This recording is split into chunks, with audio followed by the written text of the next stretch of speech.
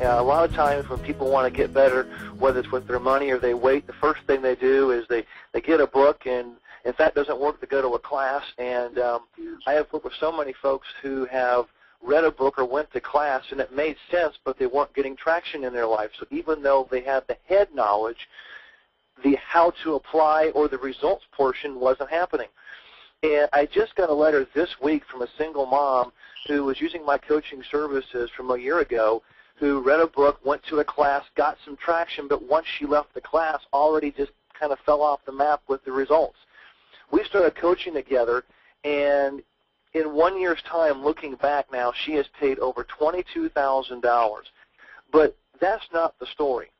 The story is she came from a dysfunctional family, had an abusive husband, and she was a single mom. And because of all of that distraction, she made a critical error at work, which cost her to lose a great job with benefits. She lost all of her self-confidence, gained a whole bunch of weight, um, didn't want to think about dating and getting back into the same situation. Was even considering giving her daughter to her abusive ex-husband just because she just felt all out of sorts as we started coaching and as she started gaining momentum, she began to believe in herself again.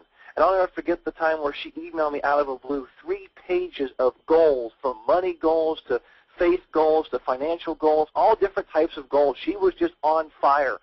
And, you know, again, in one year she paid off over $22,000, and she really attributes a lot of that to coaching.